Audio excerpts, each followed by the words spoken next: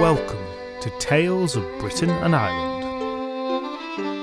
This is a podcast telling the stories, legends, and folk tales of Britain and Ireland in no particular order. Presented by Graham and coming direct from South Yorkshire, each episode tells a story or selection of stories from all across these islands and throughout their history, followed by a short and decidedly inexpert discussion of the origin and themes of each tale. This time we've got another episode which is a compilation of shorter tales with a common theme. Old and original idea, you might be thinking. Not what all the other storytelling podcasts are doing, oh no. And that theme, if you hadn't guessed it by the episode title, is Stone Circles. And in keeping with what we've done in other episodes like this, we'll do a bit of background on this before we leap into the stories. What is a stone circle? Well, definitions are tricky and language inexact, but I think we can safely say it's stones of a reasonable size stuck into or onto the ground, arranged in a, well, a circle, or a ring, or, or something kind of circular. And the important caveat that we're going to add to this is that we're talking here about such arrangements of stone that were made many thousands of years ago. Now, stone circles are among the most visible remains of Stone Age and Bronze Age cultures on the landscape of the British Isles. There are other structures that have lasted from those distant eras, individual standing stones, burial mounds, but there's so much to say about the circles, we're just going to focus on them. Now, there's a good chance that, especially if you're not native to these islands, that you are now picturing Stonehenge. A world famous heritage location, right up there for top tier recognisability with the pyramids, the Great Wall of China, Taj Mahal, and 742 Evergreen Terrace. And Stonehenge is a breathtakingly impressive place but you might also be picturing a different circle. For there are a dazzling constellation of them in all kinds of different styles, sizes, and configurations. To name a few, there's Avebury in Wiltshire, the biggest of the British stone circles, a quarter of a mile around, consisting of one huge circle on a raised mound with an internal ditch that was once nine metres deep, and that circle has two smaller circles inside of it. Now, Avebury has none of the impressive flat lintels of Stonehenge, but its outer circle alone once contained 100 stones, 4 metres high, weighing up to 40 tons each. Big enough is the circle that today, within it, there are houses, shops, two A roads, a chapel, and, most English of all, a pub. In contrast, on the Beara Peninsula in County Kerry, there's a stone circle not three metres across, consisting of only five small, wide, thin stones, still just about standing, but towering over all of them, like a grizzly at a teddy bear's picnic, is an imposing three metre tall standing stone. A very peculiar sight indeed. There's the Nine Ladies in Derbyshire, which I mention as it's my local stone circle. Nine unremarkable stones, each less than a metre high, on a small moor, with a further stone seemingly flung a few metres away. And yet, squat and low though those stones may be, they still hold an enchanting appeal, attracting visitors all year round. And I could go on. I really, really could. I've not even mentioned any of the circles we'll be covering in the stories today yet. And I could do so because, all told, there are nearly 1,300 surviving stone circles in the British Isles, with about 500 of those being in Scotland. It turns out that these ancient mysterious monuments are surprisingly common. Now, of course, they are not only a phenomenon of these islands. The seemingly immutable borders that exist between nations today meant very little even a few hundred years ago, and 5,000 years ago they were basically as comprehensible and relevant as the instructions to a Casio pocket calculator written in Klingon. So stone circles can be found in many places in what we now call Europe, and there are even similar structures in parts of Africa. Though that said, the British Isles does seem to have a bit of a concentration of them. Now, stone circles can inspire deep emotions in people awe, reverence, wonder. That feeling that they are special places, well, it's probably enhanced as not all of them, but many of them, those that have survived today at least, are in lonely, rural, or wild places, in farmlands, or on remote hilltops, on moorlands, hidden in forests, on far flung islands. This furthers the appeal of stone circles and the sense of them as places of lost magics from the very dawn of human civilization. Once sacred places, where we can even now reach out through the centuries to people and places long gone, but whose traces still remain. That most of the surviving stone circles are in what are now remote locations is probably less to do with our ancestors' love of the wilderness than with what has happened in places we now think of as not remote. In the intervening five millennia, there's been quite a lot of activity there that would have obliterated the traces of any such monuments. And as well as them having just been taken down because they were in the way or having suffered due to natural causes, stone circles have not always been as popular as they are now, and certain members of the Christian Church over the last thousand years or so have played a rather active role in their destruction. Given all this, it's somewhat astounding that so many have survived, though some of the larger have had a great deal of help in recent years. You may or may not be surprised to learn that Stonehenge, for instance, didn't look quite how it does now a hundred years ago. There are some old photos online. Go and look them up if you're interested. Now, I know that this isn't a history or an archaeology podcast, but it feels like we should alight briefly on the origins of these stone circles. Who built them, and what were they for? As Ylvis asked in their heartfelt song Stonehenge, what's the meaning of Stonehenge? And now your mind might be going to Druids because the association between Druids and stone circles has been indelibly inscribed into the cultural imagination. Not surprising, as it's been theorised since the 18th century at least. And to be fair, modern Druidic religions and practices, and other modern pagan religions, those religions formed largely in the 20th century, certainly do have a very strong connection to stone circles. For these religions, stone circles are often holy places. However, if we're asking the question of who built the stone circles, well, it might help if you realise that the ancient druids and the modern druids are to each other as fictional Westerosian know nothing Jon Snow is to long-time BAFTA award winning Channel 4 news presenter and journalist Jon Snow. By which I mean they share a common name and not much else. The ancient druids, about whom we know sadly very little indeed, were active roughly about two to two and a half thousand years ago, and nothing at all suggests they had anything to do with the stone circles. And they certainly didn't build them, as the circles are far older than 2,000 years old. Now, personally, I don't feel that that lessens the magic of the stone circles. In fact, I feel that if you start off believing they were built by the Druids just before the Romans arrived, then the circles only become even more impressive when you realise that we here are about as close in time to the Druids as the Druids were to the makers of the stone circles. In fact, for the very oldest stone circles, they're even further back than that. Might be getting a bit lost here.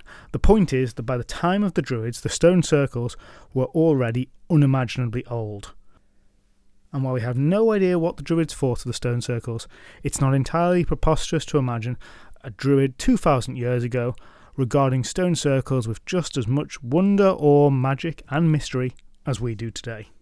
These monuments are so old that they long predate written history in these lands, and they've survived right through the Druids and to this day. So, the Druids didn't make them.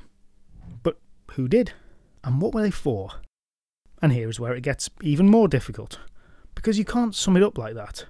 And I'm not trying to avoid the question, but all the evidence we have shows that A, we know even less about the people who built them than the Druids, and there were probably lots of different people who built them. And B, what we can be sure of was there were loads of different purposes, and often different purposes for the same stone circle at different times. These things were constructed and used over hundreds of years and thousands in some cases. Sites were used for hundreds of years, abandoned, and then reused. And asking what they're for is kind of similar to looking at the country now and saying, well, what are all the brick buildings for? It's an answerable question, but there's no one answer. There's lots of them. There is pretty certain evidence that some of them were used as burial grounds, likely as ritual places for burying and remembering the dead. There are also signs that point to some stone circles corresponding to significant astronomical events and linking them with heavenly bodies. while it is likely that others may have been places of worship and community events with some similarities to your churches or your mosques today. Places to gather, places to worship. All in all, there was likely a sacredness to many of these structures. But really, this is mostly speculation. What we do know is that they were certainly very important, as erecting blocks weighing several tons and constructing the associated earthworks would have required tremendous amounts of labour. The stone circles mattered. But you didn't listen to this podcast to hear me witter on about the things I barely know about stone circles. I mean, I think you didn't. I've not really got the stats to analyse, but I imagine you came here for the stories. And there are quite a few, because stone circles kind of tempt people to make stories about them. These circles have been part of the landscape for as long as people have been writing stories down, and the mystery of their origins is basically crying out for an explanatory story or stories, and that cry has been heard and responded to many times throughout the centuries. Now, as we've seen before, popular folk tales tend to get spread around and localised, so a story about the origins of one stone circle very quickly becomes a story about the origin of lots of stone circles. And quite often you'll be unsurprised to learn that these stories are petrifying. And in our first short story today, we'll cover one of the most archetypal British folk tales about the origin of stone circles.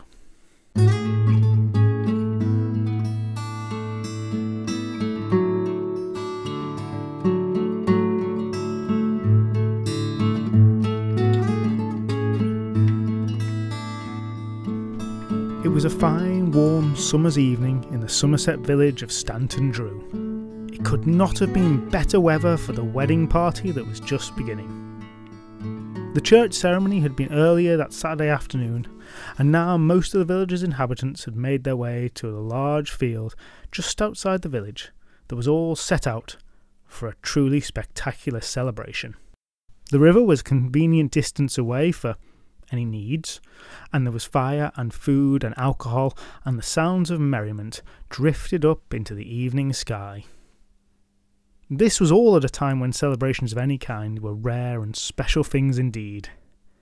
Long days were spent working in the fields, maintaining households, and doing the hundred and one, all arduous and lengthy tasks necessary just to exist in these times, well before the modern developments that would overhaul rural life.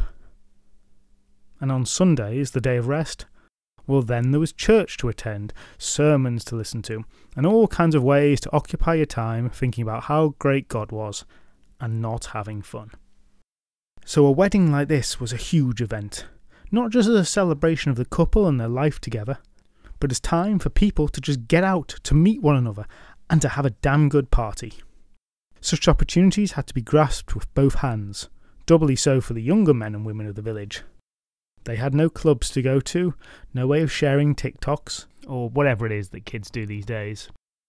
This offered a precious chance to meet in relative freedom, where they could talk and dance and laugh and show off, and no doubt flirt outrageously. And a spark that night might well light the bright flames of another wedding a few months hence. And the cycle would continue. So it's not really that important who the couple were. This was for the community, for everyone the bride and groom, their friends and family, the vicar who had wed them, all were enjoying a great evening. There was sport, wrestling and such like, there was feasting, there was gossip. But above all, there was that lifeblood of community music, music and dancing. A piper played the tunes, and local amateur musicians joined in on makeshift drums and penny whistles.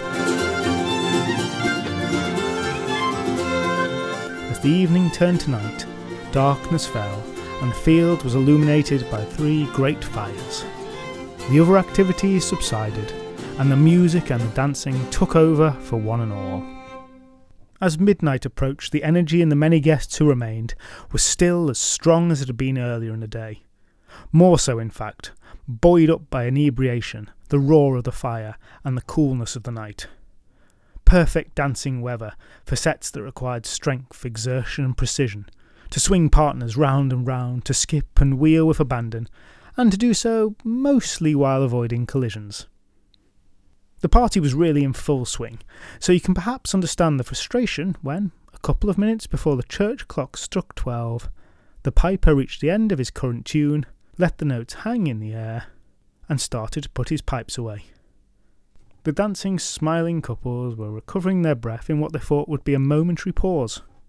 And then the bride realised. No, hang on, what? The surprised woman and a few of her guests went over to the piper, who seemed to be preparing to depart.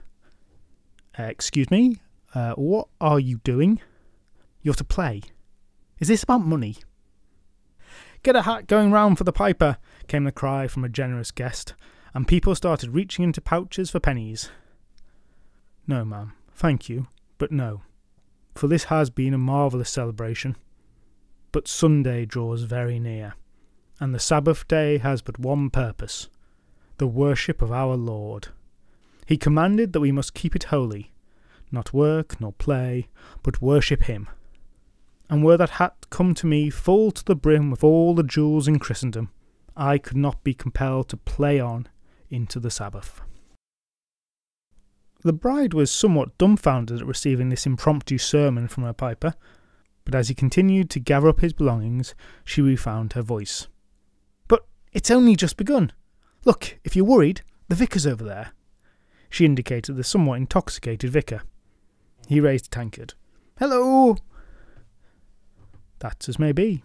But you take your chances, and I'll take mine.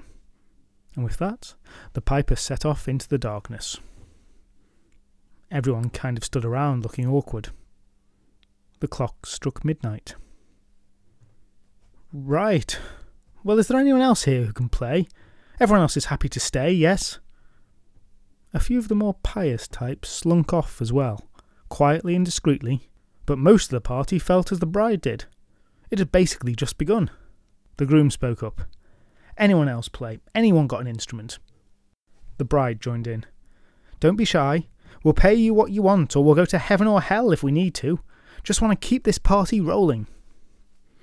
No sooner were those very unwise words out of her lips than a tall man dressed all in black stood up from just outside of the circle of firelight where he must have been seated. He was carrying a fiddle with him of some rare quality. He raised the instrument to his chin and drew his bow across the strings.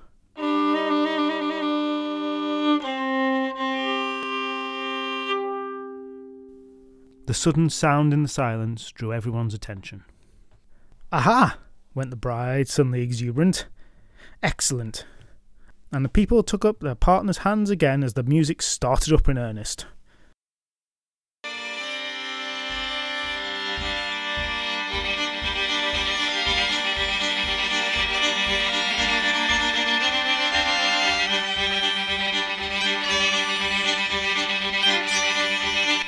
The fiddler played a merry jig, and the company whirled around and around, laughing and whooping as they did. And when the first tune came to an end, the next one began, and after that, the next. The vicar, somewhat perspiring and a little out of breath, decided he would be best off to sit this one out. So he stopped dancing. No. What? No. He, he stopped dancing. S- stop! He yelled at his feet. But his feet and his arms, well, they weren't paying attention to him anymore. He looked around. Most of the others were still enjoying the music, but he could see some others like him. They'd noticed. They were wildly looking around, fear in their eyes. The fires crackled and roared. The people danced.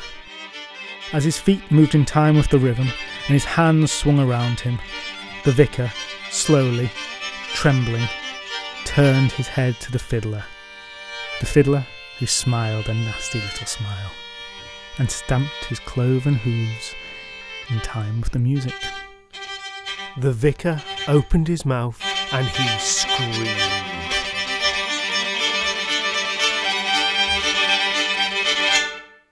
The piper, who'd set up camp in a nearby field, heard the screams, the shrieks, the cries. He shook in terror, he covered his ears and the howling continued the whole night long. The next morning, those villagers who had gone home early or who had not been in attendance found the pious man, still covering his ears, almost out of his mind with fright. But as for the huge wedding party, they did not find them. But in their place, arrayed around the smouldering ashes of bonfires, in between abandoned crockery and dropped bottles, were three circles of huge standing stones, each stone roughly the size of a person. And the circles remain to this very day, a warning to all to keep the Sabbath holy and of the dangers of words said in haste.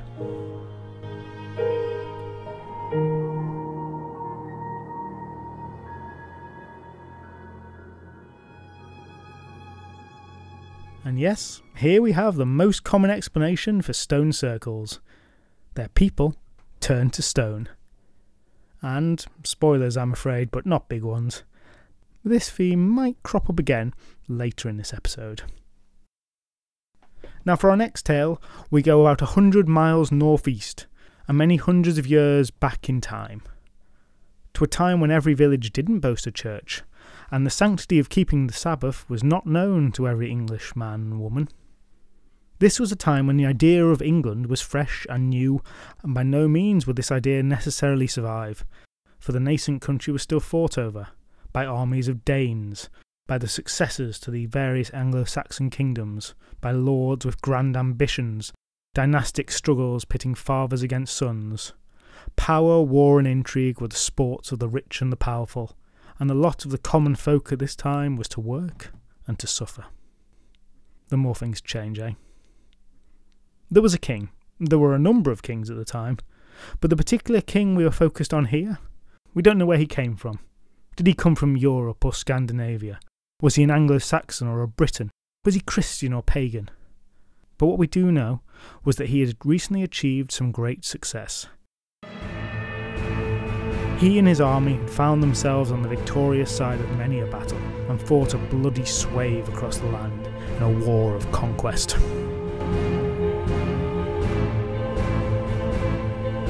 It had been difficult.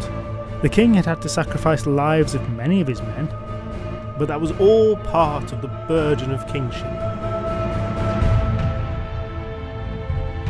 While he mourned them, it was all necessary, wasn't it?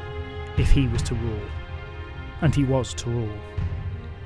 Not once did it cross this warrior king's mind that there might be another way to live, a way that didn't involve imploring others to die hideous and violent deaths. The prospect of settling down, getting married to someone for love, not because you needed that alliance with Pepin the Short, raising a couple of kids who wouldn't try to murder you, maybe starting an artisanal bakery, working on etchings in the evenings. None of this ever occurred to the king all this land would be his. And when he started this expedition out, that possibility had some pretty long odds on it. Now, well, now the field had narrowed considerably, and his proposition was beginning to look a bit more like the sure bet. Nevertheless, his army by this point was somewhat reduced in size. Those remaining had spent the night in some barren field, and the hundred or so of them were breakfasting in the very early morning light. Ahead of them lay villages and towns where more men would join their cause, provisions would be refreshed, and the successful army would be strengthened and revitalised. At least, this was the king's view of his strategy, and it was still one that just about held sway amongst the rest of his loyal men. But on this morning, as the king wandered away from his army to survey the valley in front of them and plan out the course of action for the day, a small group of five of his most senior knights had gone out for their own innocent morning stroll, in the direction away from the king. And they were at this very moment some way away from the army, having a hushed conversation about senior leadership performance targets and succession planning. But the king was confident. The scent of the wildflowers and the singing of the birds in the meadow as he approached the top of the small hill was almost intoxicating and it might have been for this reason that he only noticed the small, aged woman when he was almost at the very crest of the hill. She stood in front of him, wizened, bent over, and yet, when she spoke, her voice carried as much self assured authority as any emperor. What do you want? she demanded. The king was taken aback. He stuttered. Uh, to cross this hill, to see the valley. This is my hill. These are my lands. Why do you want to cross them? Regaining some of his composure, the king said, I will conquer all of England, to rule it as one kingdom under me. Ah, yes, of course. Now, as it happens, I know a little of such things, and her modesty belied the power in her words. No one listening could doubt that somehow this old woman knew all there was to know about such matters, and many others besides. Well, king, seven strides more shalt thou take, and if Long Compton thou canst see, king of England shalt thou be. Long Compton was a village in the valley, just over the brow of the hill. It would be easily visible from the top of the hill. The king took a careful look at the ground in front of him, mentally measured up the distance to the top. It was seven strides. He'd be at the top of this hill. He'd see Long Compton, and he'd become king. He didn't know why he believed this old woman, but he did. He would take really big strides, just in case. Stick, stock, and stone, as King of England I shall be known, cried the king. This bit is a little dated, but we need it for the rhyme. So, stick, stock, and stone was a more common expression back then, and it basically meant the whole nine yards, the whole shebang, the kit and caboodle, the full Monty, the whole shooting match. You know, English has a surprising amount of phrases for the same thing, so we probably just got rid of stick, stock, and stone just to try and control the numbers. Anyway, Stick, stock, and stone, as King of England I shall be known. And the king took his long strides.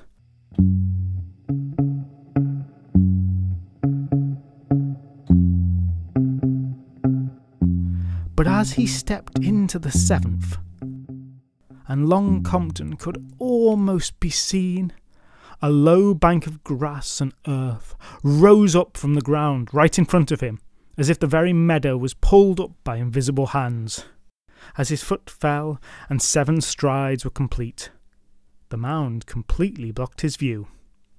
An icy chill ran through the king.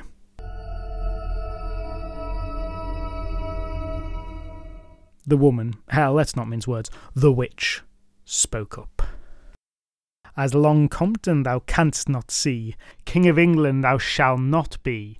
Rise up, stick, and stand still, stone, for King of England thou shalt not be known.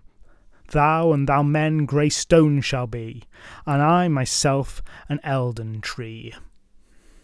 A deep dread rose from within the king. He would turn to flee, but in horror he realized that his body no longer responded to his command the terrible nature of his last moments, watching his body petrify from his feet upwards, the sheer agony of still flowing blood hitting stone, then becoming stone itself. He was utterly helpless, and his body twisted and warped, but very soon thoughts troubled him no longer, and where he had been stood, there was now just a great grey stone. At least the king had a notion of what might be happening to him. For the men of his army assembled in a circle, there was no such warning, as that awful enchantment spread to them, and they too found their own live flesh turned to dead stone. And whatever intrigue those five knights had been plotting died with their last breath, as they too were caught up in the spell, to stand immortalised in their huddle. And the witch, good to her word, turned herself into an elder tree, though perhaps that was what she had always been. The sets of stones, that is, the king's men, the king, and the whispering knights, have stood still as time has marched on around them. They can be found there today, and elders can be found growing around them still. They are known collectively as the Rollright Stones, and it is said that on Midsummer's Eve, if you cut into an elder tree around them, then blood will flow from it. And it's just possible that on that night, the king's stone may shift ever so slightly. The mound that rose up in front of the king lasted for centuries, but by the present day it has been ploughed down. The view of Long Compton is no longer obscured. and so it may be that one day the curse will be lifted, and the king and his men will take form once again and begin again their task of conquering England. If they do, they're probably going to be surprised by a few of the changes. But for now, they and the Elder Tree Witch remain steadfast in that spot.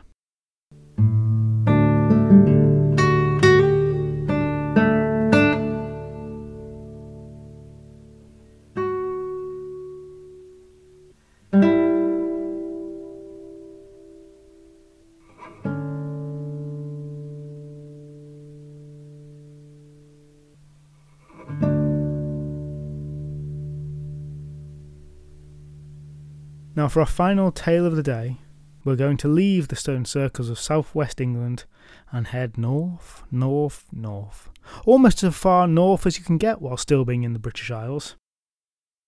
In the podcast to date, we have, to my shame, been a little light on tales from Scotland, but when it comes to stone circles, we really can't ignore it.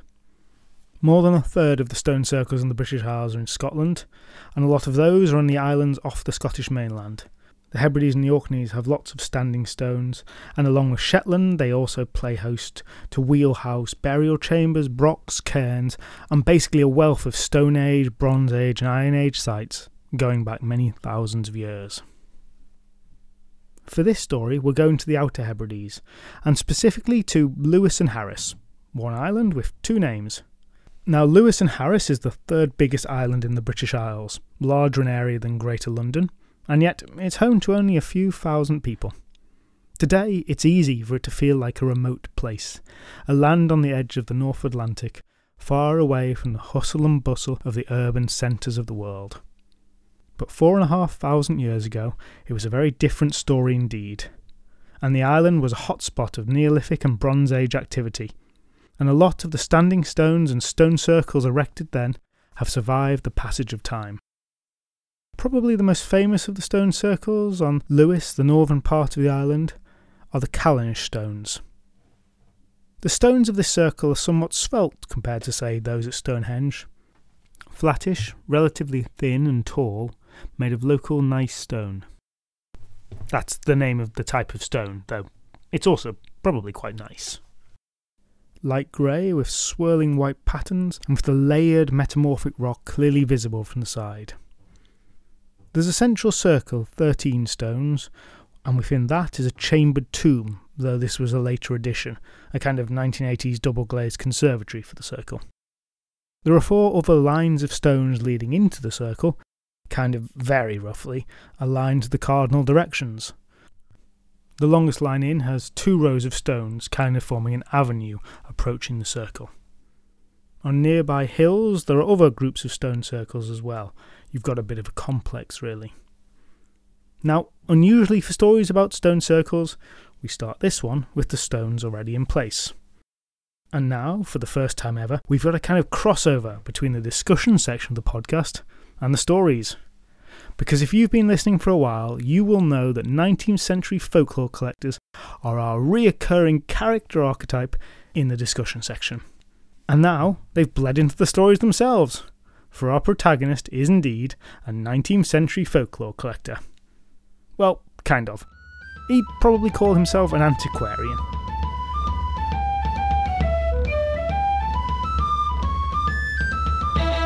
It was the latter half of the 19th century.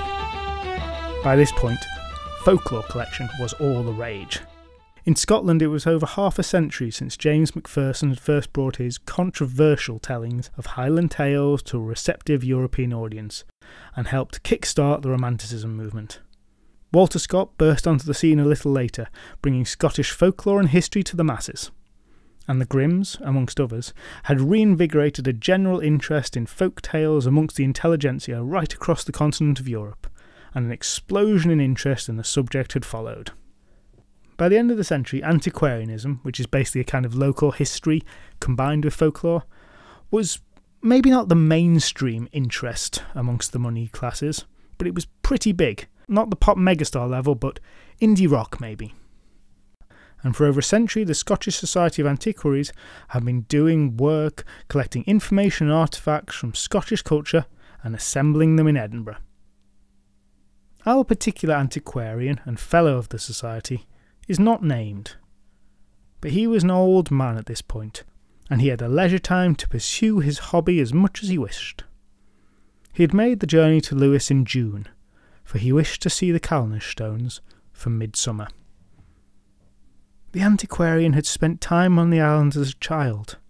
He remembered those holidays fondly, and he remembered the tales he was told on them. Tales of how the stones came to be. I say tales because there was disagreement. One tale holds that, in days of yore, there was a priest king who hailed from a distant land where the people looked different.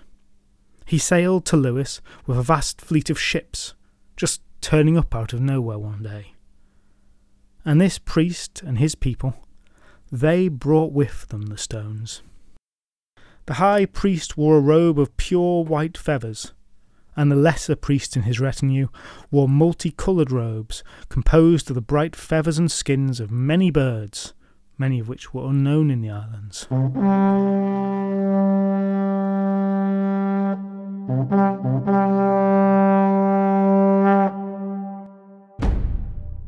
It was they who erected the Callanish stone circle, though the work was hard even for them, and some died in the process, and they were buried in great and strange ceremonies right inside the circle. When the work was complete, many left, sailed away again, but the high priest and some of his followers remained. And in time they invited the men from the other islands to join them, well, to serve them. And while that might not seem like the most attractive proposition, their power was alluring, and the men came. And the men reported back about the high priest, and how he was accompanied by wrens that flew around him at all times. The tiny wren, smallest of British birds, has, like the cuckoo, much association with Druids and Celtic pagan beliefs. No, no, would come another voice when the tale was recounted. A voice with a broad accent from the islands, of course, which I am making no attempt to force here. No, you see, everyone knows the stones were once the giants, the original rulers of this land. For a while, the giants and normal men lived together, as they did across much of Scotland. But when the word of Christ started to spread amongst the men of the islands, the giants were alarmed. They met together in a great council to decide what to do about the presence of the Lord in their remote, ungodly place. Unfortunately for them, St. Kieran came upon them there, and he demanded that the giants either be christened or build him a church. They didn't really go for this proposal, which offered little. And because of this refusal, as is a pretty standard mode of operating for the merciful and beneficent Christian God and his followers, Kieran used his divinely granted powers to turn each and every one of the giants into a stone slab, which was completely justified because of their rejection of the unconditional love of Christ. And there the giants stand to this day. Yet our mainlander antiquarian wasn't so much interested in these stories as he was the ones he'd been told about the use of the stones to this day. He recalled what he'd been told as a boy very well. Though those summer days might have been almost an entire lifetime ago, he remembered clearly that when he had been young, an old man of the island with whom he had been staying told him many an interesting tale. And now he was old, he wanted to investigate their truth.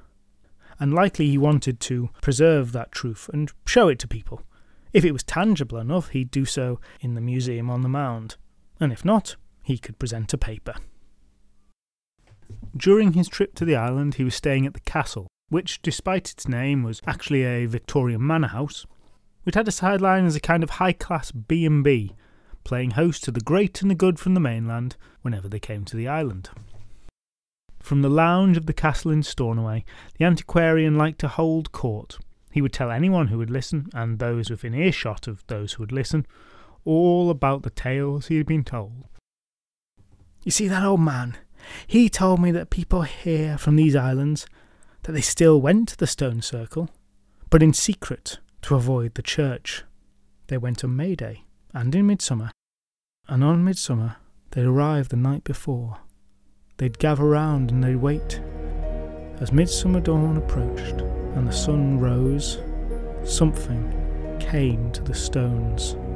Something walked down the avenue, heralded by the cries of the cuckoos, he told me. The more romantic in the audience, those mainlanders inclined to flights of fancy, felt their hairs rising. But you see, that's not all. He told me the name of this something that comes. And I didn't know it as a boy, but I wrote the word down.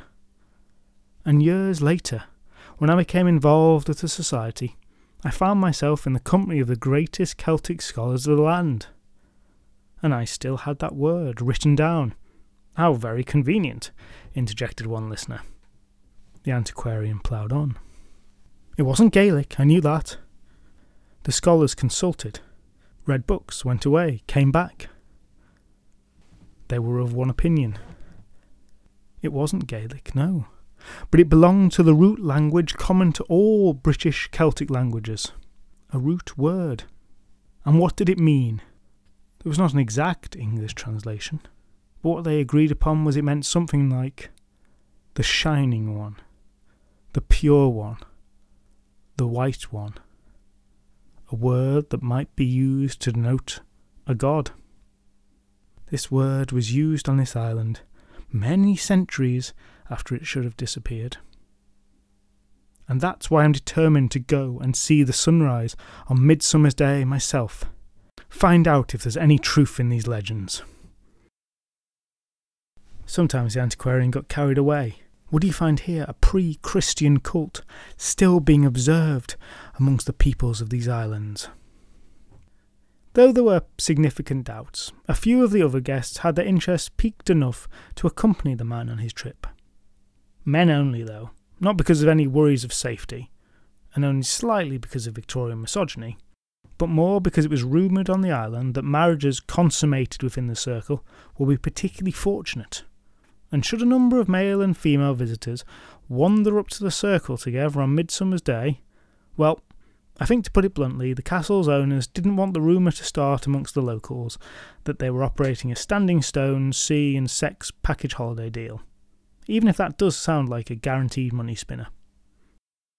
Alternately, we should probably consider the possibility this was all an excuse given by the various women who didn't really want to get up at stupid o'clock in the morning to go and see if they could find a cult that has survived since Celtic times, as that seemed neither likely nor particularly sensible. Interestingly enough, an elderly maid who worked at the castle, overhearing of the gentleman's plans, reassured the women that they wouldn't be missing much at all. Nothing happens up there then. Oh, I didn't say that. But there'll be a mist up there on Midsummer's morning, you see a thick one, and they won't be able to see anything that might interest them. The elderly woman said this with the same certainty and matter of factness with which one might state that water is wet. Cryptically, she added, It is only those to whom it is given that may see.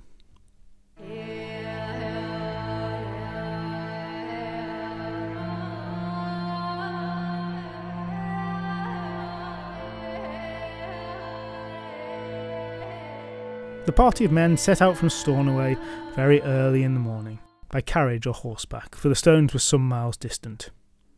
As they travelled, the antiquarian expanded some more on the tales he had heard. Do you know, when I was here as a boy, they told me that some of the families on the island were treated specially, treated in high esteem, for the families were said to belong to the stones. And what does that mean exactly? asked one of his companions. Well, I don't quite know, but Remember I was telling you the legend about the people who came from far away?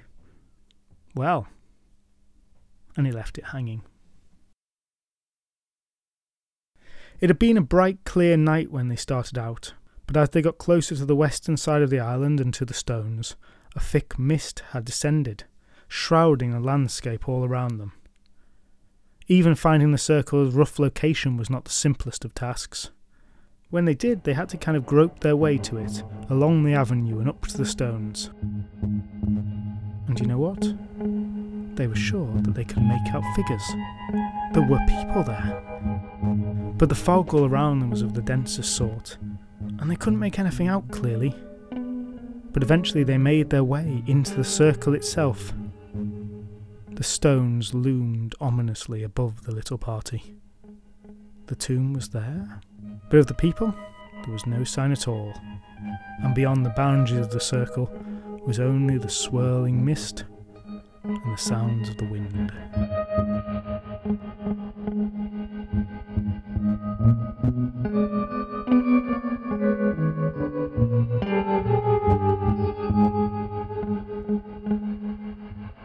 They suddenly felt very remote, very isolated, and a slight chill ran through them.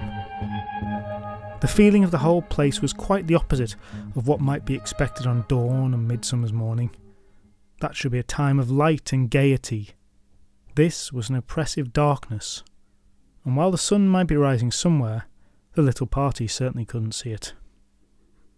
What's that? started the antiquarian. The others followed his gaze, and he was right. There appeared to be grey shapes moving around in the fog.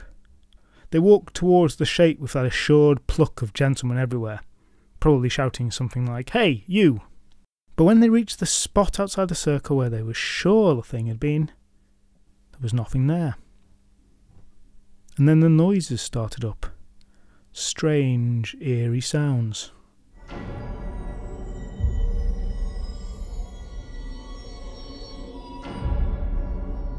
They still didn't panic. Such was not in their nature. But they did explore around the circle, following the sounds that seemed to come from this direction and then that. After a number of false starts, there, a shape in the mist. There was a rough, strange noise, and as they approached, the shape didn't dissipate. It got more solid, more visible. They rushed towards it, and there they beheld it.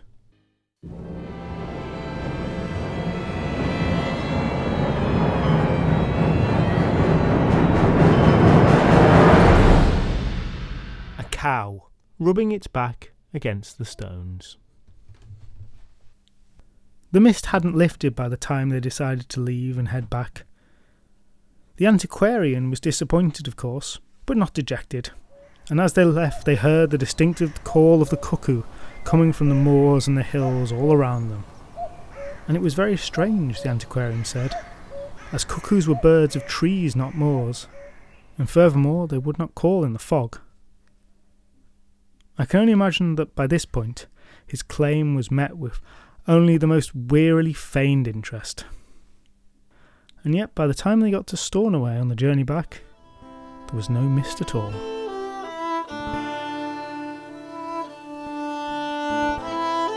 And that really is that. The antiquarian never did get to deliver his paper. And as for the families of stone, do they still exist? Well, maybe you could go to Lewis yourself and try to find out. But if you do, then do remember that it is only those to whom it is given may see.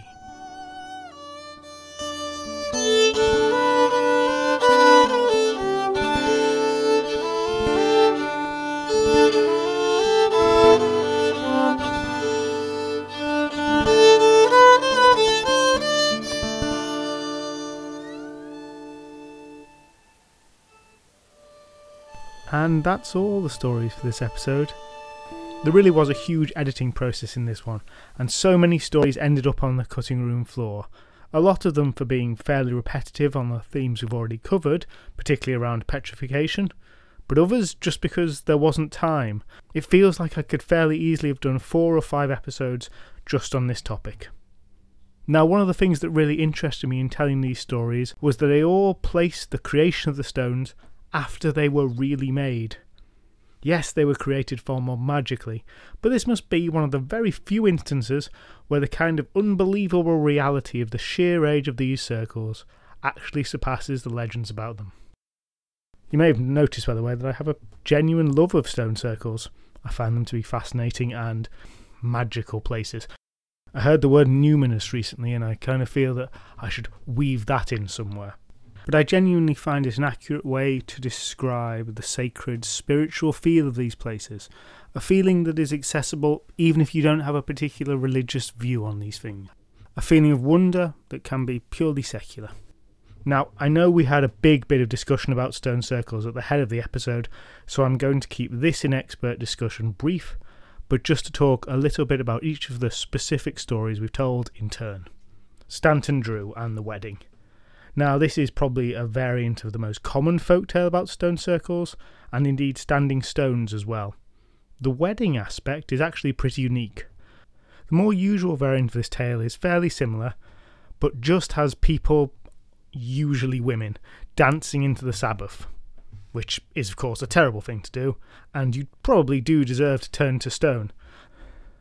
And those of us who have been to nightclubs in Britain will know that dancing always stops at 11:59 precisely to avoid the fate of those poor people at Stanton Drew. It's this association which is why we get stone circles with names like the Nine Ladies or the Merry Maidens or similar. Often there will be an associated stone which represents musicians who in those tales did play on, typically fiddlers or pipers, which might be in the middle of the circle or slightly off to one side. In that case, the devil might not be present, and just everyone gets turned to stone for Sabbath dancing. And you can certainly see why the ring shapes really lend themselves to the idea of a dance. And in many ways, I find this the most pleasing type of explanatory story it makes a kind of sense, and it makes far more sense than the army standing in a ring in the Rollright Stone story. Now, there's clearly a kind of anti female take to many of these tales. In the wedding at Stanton Drew, it's notable that the women really want to continue, and the men kind of take a back seat. But there are male versions of this tale as well. Typically, in the case of men, rather than dancing, they are said to be playing sport on a Sunday. Dreadful business. The hurlers in Cornwall are perhaps the primary example of this. I find one of the odder aspects about the generic Sabbath breakers turned to stone story is that in some of these stories it's the devil who is doing the punishing of the people, while in some cases it's God or a Christian saint. And basically, the two are indistinguishable. The God who hates people dancing on the Sabbath is very much a vengeful, no nonsense God, and where the devil does appear, as in the Stanton Drew story, he's basically just performing middle management duties. He doesn't have a stake in punishing these guys, he's just following God's rules assiduously. I prefer the cool bad boy rebel devil myself. Anyway, moving on from that one, the Rollright Stones. This legend is actually relatively unique to this particular place, probably because it combines together the specific monuments at the Rollright site the stone circle itself, the King's Stone, which is a solitary standing stone, and the Whispering Knights, which it probably wasn't clear from the tale, but those are what's called a dolmen tomb, and that's a tomb made of stones with a stone on top. But in the case of the Whispering Knights, the top stone has actually fallen off. Apart from being the best name for a Rolling Stones tribute act, the Rollright Stones have long been regarded as one of England's premier heritage sites, and along with Stanton Drew and Stonehenge, they were one of the very first to be protected in an 1882 Act of Parliament. Now, while the legend of the army, which dates back about 400 years by the way, is fairly unique to the site, it also has associated with it other folklore, which is more widespread about lots of stone circles. These aren't real stories as such, but just to give you a flavour of some of the things that are said, of a great many stone circles, the stones are said to be uncountable. If you count them multiple times, you will always get a different number. Now, occasionally, clever people try methods to beat this strange effect. A baker, who must really wanted to have counted the stones, placed a loaf of bread on each stone. As he knew how many loaves he had started with, some simple arithmetic when he was done would tell him the answer to the question, How many stones? Tap's head. Clever, yeah? Round the baker went, placing a loaf on each stone. When he was finished, he looked back and, hey, there wasn't a loaf on that one. He went back to the missing one, put one of his remaining loaves on it. Right, now, wait, there wasn't a loaf on that one either. And so on and so on. And soon enough, he was out of loaves. Lo and behold, there were still loaves missing, and he had no idea how many stones were in the circle.